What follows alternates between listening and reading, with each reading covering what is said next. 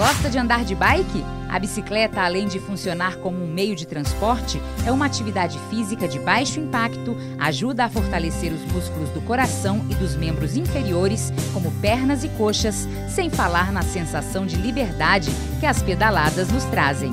Então, bora aproveitar as ciclovias e parques das nossas cidades.